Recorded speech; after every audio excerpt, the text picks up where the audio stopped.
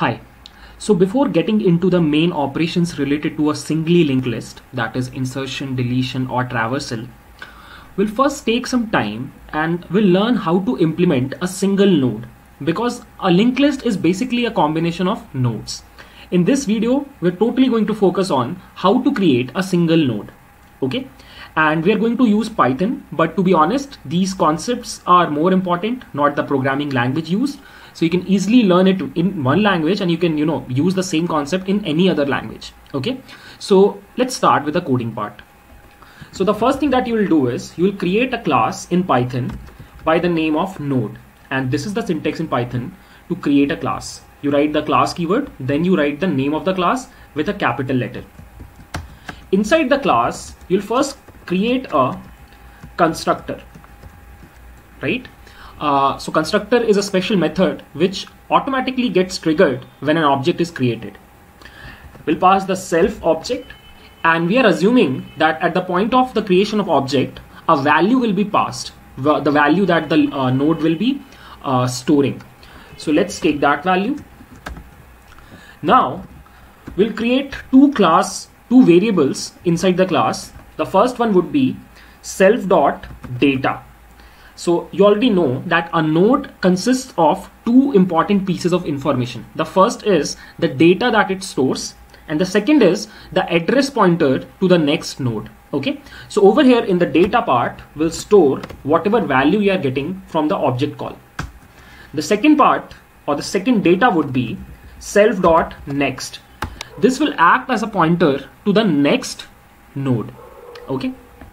And let's for now keep this value to be equal to none. So currently it's not pointing anywhere. Okay. And that's the definition of the class right now. And that's done. Now let's create a node uh, by the name of A. So A is basically going to be an object of node class.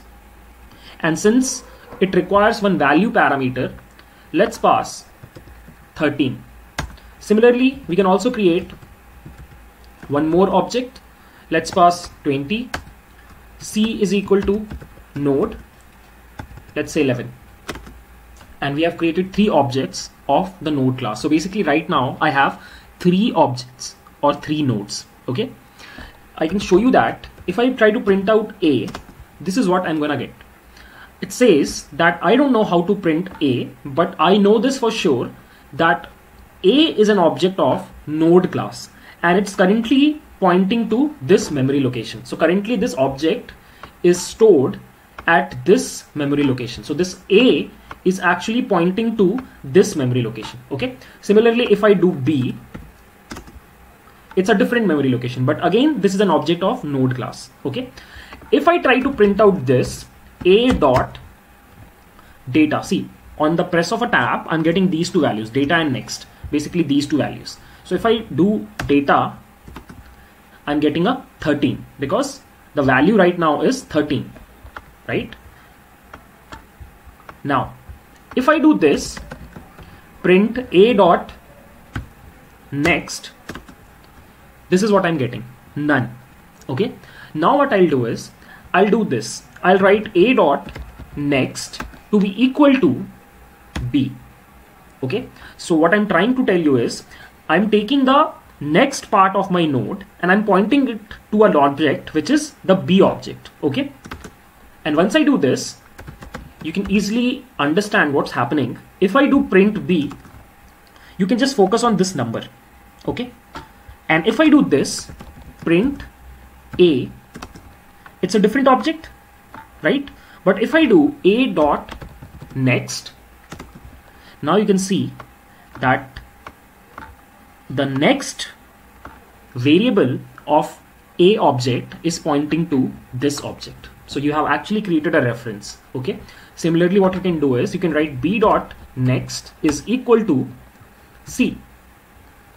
And likewise, if you print c, this is it.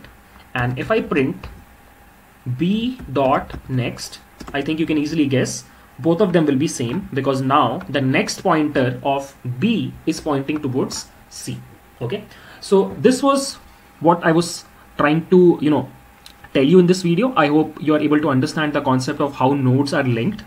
Now using these concepts, we'll learn how to insert a new node in a given linked list in the next video. So thanks for watching.